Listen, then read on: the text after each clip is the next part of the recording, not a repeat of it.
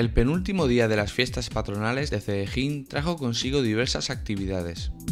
Por la tarde, el recinto ferial se convirtió en el escenario de una gincana en el que multitud de peñas compitieron un año más en divertidos juegos. Por la noche, la Plaza de Toros de Cedejín acogió el esperado concierto de Fito y Fitipaldis, los cuales demostraron por qué son uno de los grupos españoles que más admiración levantan allá por donde van.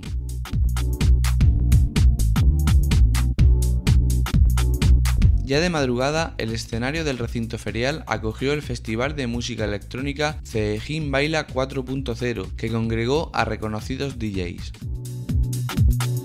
El sábado, la procesión de nuestra patrona la Virgen de las Maravillas de vuelta a su camarín en el convento de los padres franciscanos, acompañada por multitud de fieles, la reina y damas de las fiestas y las autoridades locales, y más tarde el castillo de fuegos artificiales desde el Paseo de la Concepción y que fue seguido con expectación por el pueblo de Ceejín, pusieron el punto final a las fiestas de Ceejín 2013, unas fiestas que han brillado por la calidad de su programación y el éxito de los conciertos celebrados.